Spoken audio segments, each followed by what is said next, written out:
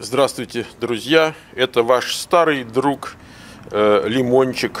На нашем вот э, участке растет в городе Санта-Крус. Многие зрители давно за ним наблюдают. И куст стал каким-то необычайно маленьким, друзья, сегодня, потому что именно сегодня пришел добрый волшебник э, мексиканский, наш Карденер, и постриг его – Видите, тут продолжается цветение.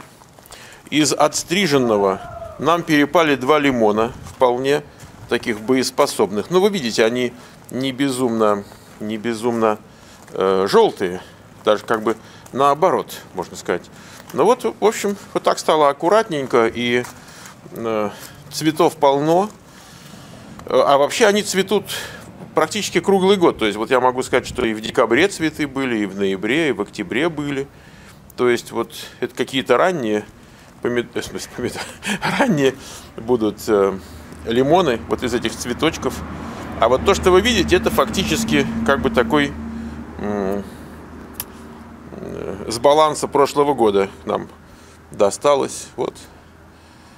Вот так подстригают лимоны мексиканские садовники в Калифорнии.